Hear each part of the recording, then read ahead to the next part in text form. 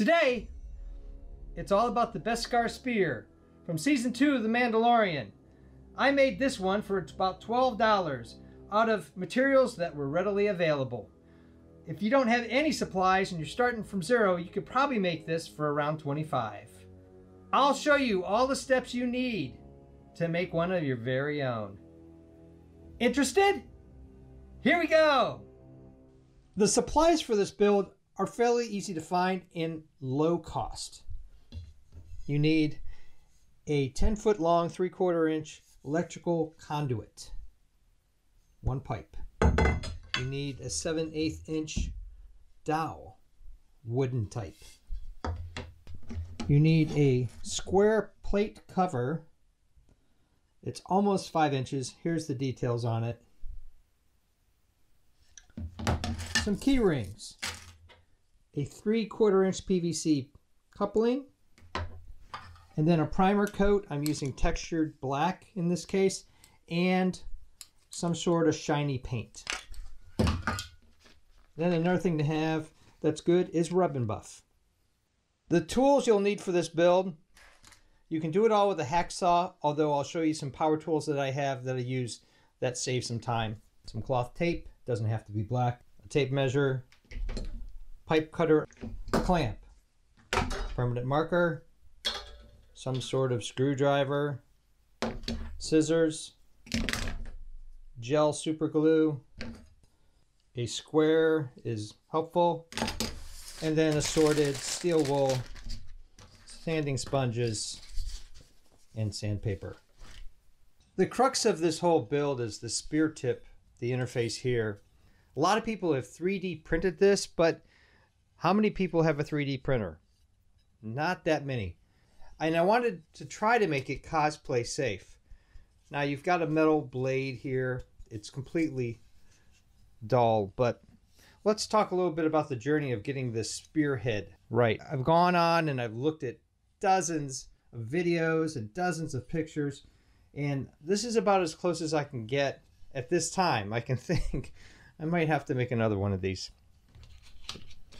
So what I did is I started out with just taking some paper and folding it over and cutting it out. Now in some it's it's heavily curved in others it's got a little bit more of a defined angle here. So this was my first attempt. That seemed too wide.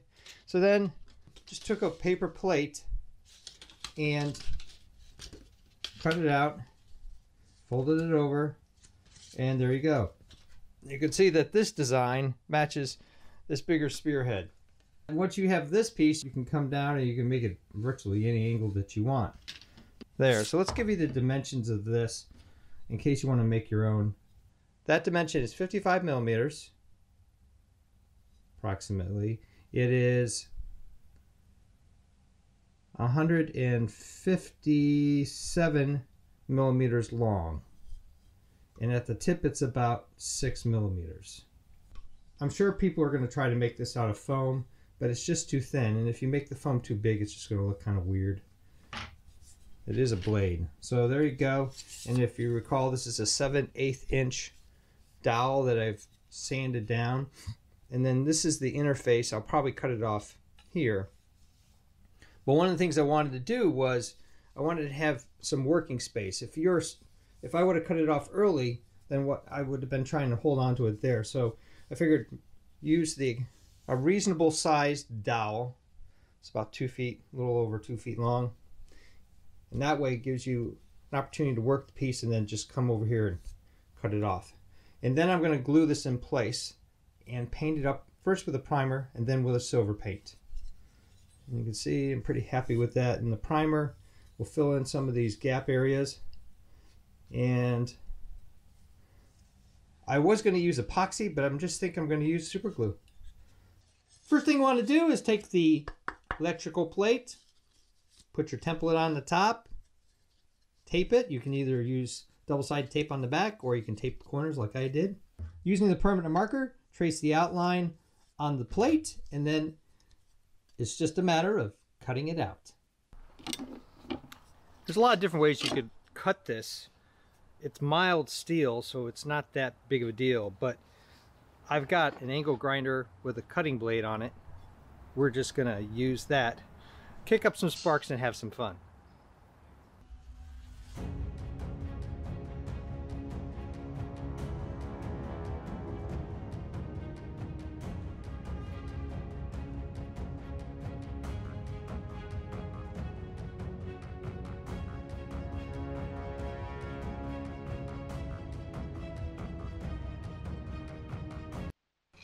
Now that I have the two blades done and I'm pretty happy with the shapes, I'm going to take this dowel.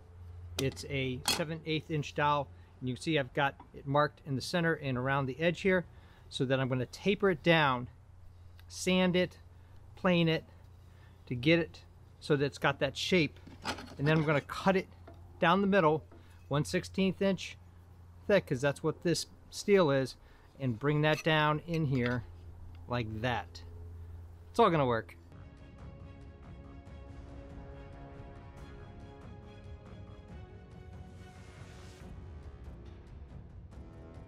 Now that I got it down to the black on the end, I'm going to sand it even further. I've put a silver marker center and then I'll probably even go smaller than that just to get the shape down in a nice angle. You can see I'm getting there. But I can't think of any other better way to do this unless you had some sort of lathe, which I don't have. If anybody else has a better idea or better way to do this, post it in the comments below so that we can all learn from this experience. Unlike an actual weapon, I want this to be extremely dull so it doesn't hurt anybody. So I'm running it a little bit on here and then just a final sanding on the sanding sponge. Had to move him to the garage because it was starting to rain outside.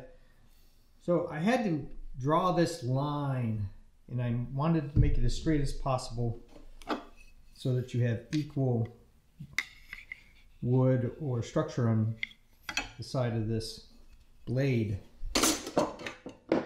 And I did that through a combination of a caliper, a small square, and a ruler. The end of this tip is about six millimeters. So I came over and hashed a line at three millimeters. And then I came down here and measured this using a straight edge after I clamped this off and made sure that this didn't move one way or the other. I'm pretty confident with that line right there. Here's the issue. It's at an angle, so I'm gonna have to actually put it down on the scroll saw here at an angle. If because I think if I do this, it's just going to rack around. And just patiently cut that line. Now the blade here is thinner than this by almost a third, maybe half. I'm gonna have to expand the slot on both sides and I did a practice with a small dowel, which, there you go. And I just did that purely by eyeball. I didn't even have a line here. So I practiced on this side. That's what one thickness a cut is. And then I kind of moved the blade on one end and the other to get it wide enough to accept the spearhead. Practiced all on a cheap dowel and not the project work so that I'm ready for this. If you didn't have a scroll saw, you could use like a Japanese saw, something that really promotes a straight cut. And that would work, and actually that would probably be about as thick as this. Or probably the ideal tool to use is a bandsaw, but I don't have a bandsaw. I'm going to use this scroll saw. So here we go, let's give it a shot. It's now or never.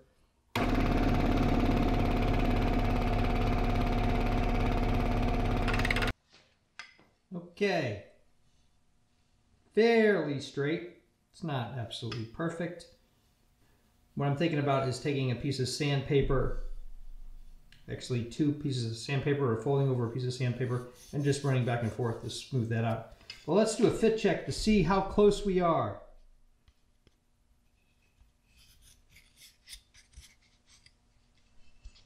Want it all the way down?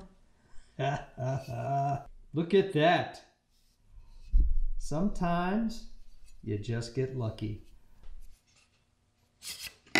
And just so you know, this is 120 grit sandpaper. I just folded it over. It's a four by four sheet, I think, five by five. And that's what I'm talking about. Just to straighten it out a little bit. Then I'm gonna round that edge there and ready to glue it up.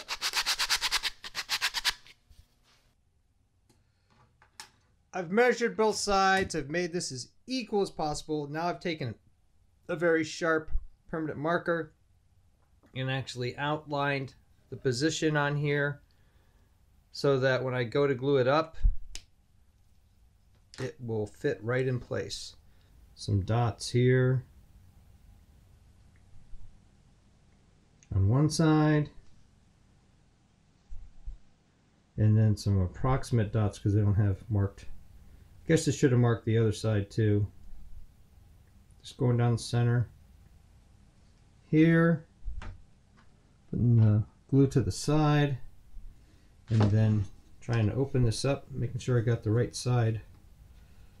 And slide it down in there. Ooh this is going to be a little fun I guess. You got 30 seconds. Position it best as I can and then I'm just going to hold it in place for 30 seconds you could clamp it down but it's got a funny angle going on here and this is why the marking is so important. Okay, one little adjustment there. And be careful because it will make your fingers stick together.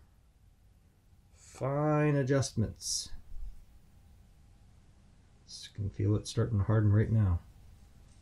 Yeah, see how it slides off a little bit? Cantankerous it is. I don't know why. Every time I apply pressure, it does that. Come on. Get to the 30 second It's starting to harden up.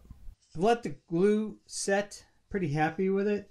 There was a little bit of a gap here. I don't know if you can see it or not. So I used some wood glue. This happens to be Gorilla Glue, but it could be anything. To fill in that gap so that when I hit it with the primer paint and the final coat, that would all seal up nice.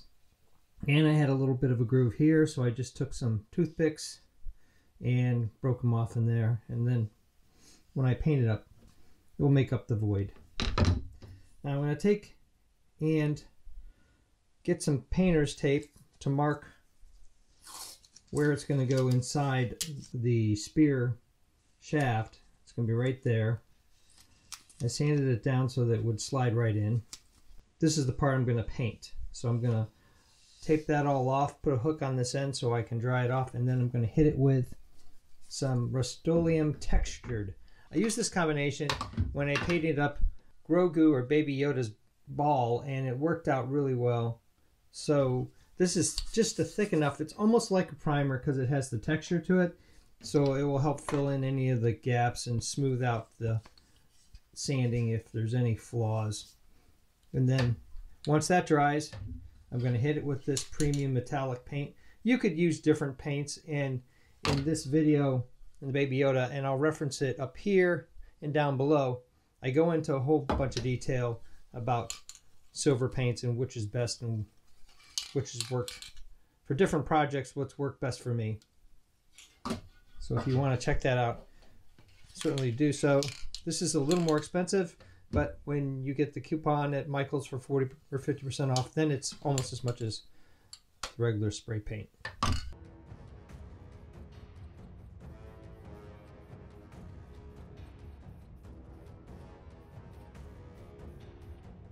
The primer paint coat has dried. I've hit it with a sanding sponge to level it all off. Feeling good about it. Now it's just a matter of hitting it with this metallic paint and then the spearhead will be all done.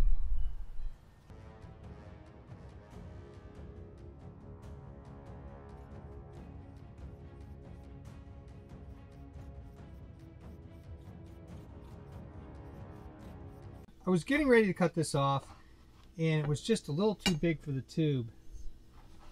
So what I did is I just took some P60 coarse sandpaper and just went back like this. And I rotated the blade 90 degrees, did it again, did it again, so I could get a nice smooth round sand. And you can see that there's definitely lip there now. It's 20.63 millimeters. So if I want to know if that's good enough, then I can just take my calipers and just run it down here and see if you can see that that's a smooth fit to there then it starts getting a little too big. And I'm just going to cut it with a hack saw could do it coping saw whatever it is because none of this is going to show. It's all here now all I have to do is put it together. This pole is five feet two inches long. I want this spear to be just over six feet because that's about what I've approximated it to I've got some lines here that I scribed in using a pipe cutter. And I did that before I shined this up. So I wet sanded some 320 grit sandpaper and got a lot of the coating off. And then I just went and I used extra fine steel wool to kind of give it a nice shine. It has a nice, real smooth feel to it. And then I marked the top and the bottom. This is the top, this is the bottom. I sanded down the dowels. I almost got a little too good about it because now it's a little loose.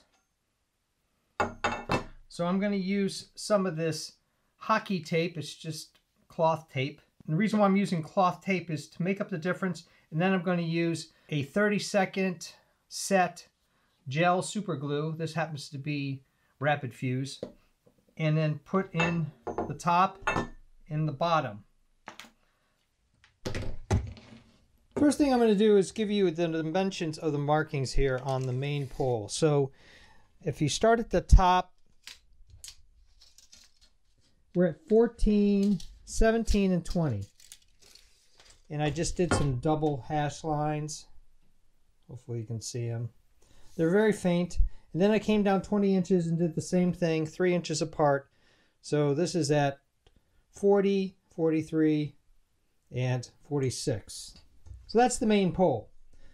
Now what I found is I could make the impressions by just taking a pipe cutter and this is three quarter inch. It just this is the rough stuff. So this is what it looks like.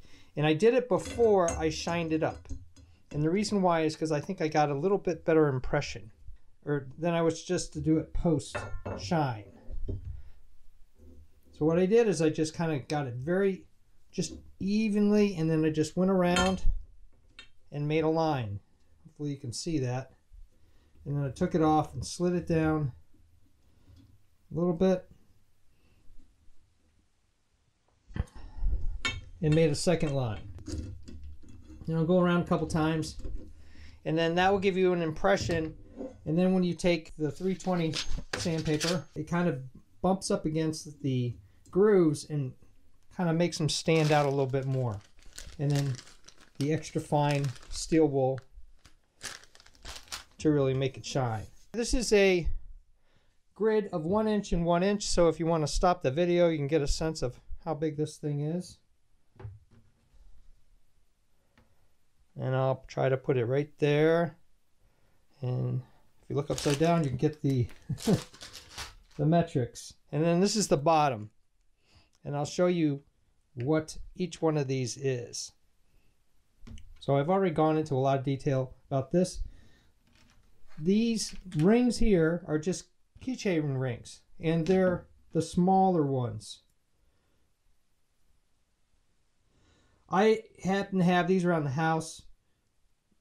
But what you're looking for, here, I'll just throw them right here on the, slightly less than an inch. And they have an inner diameter about 20 centimeters, 21 centimeters. But they fit into the smaller ones. And those fit out really nice. This here is just a another piece of conduit And that's three quarters of an inch long, slightly less than three quarters of an inch long. And I've just friction fitted here with the tape.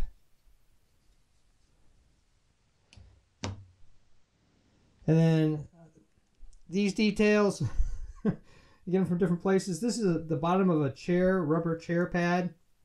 You can see what the original color was like. And I used some rubbing buff on it. Let it sit for about an hour or so, soaked in. And then I just hit it with a paper towel and shined it up a bit. I pre-drilled this hole so the screw will go in there easily without any issues.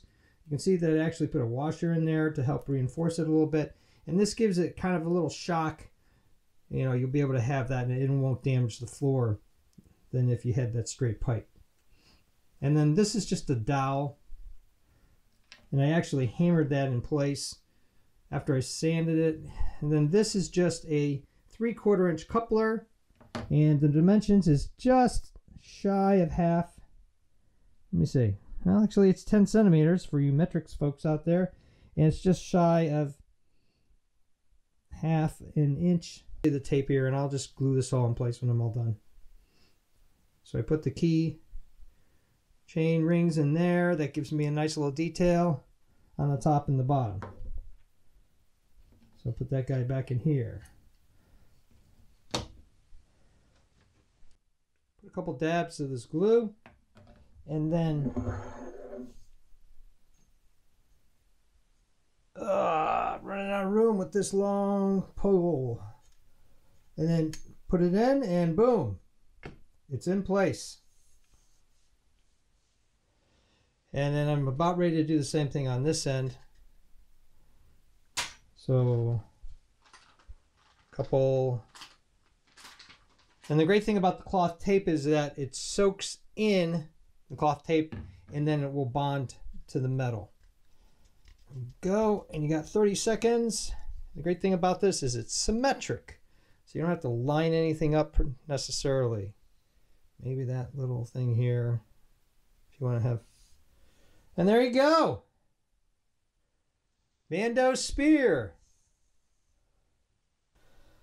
Now if I was to do this again and if you're going to do this maybe cut this down a little bit. So more like that.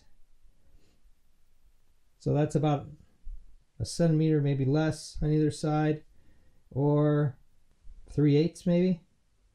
Yeah, so if you're going to make one of these, I would recommend that you thin the blade out that much more. This was based on some initial views of different things that I saw. And after I painted it up, I was just kind of committed. And here's the final product.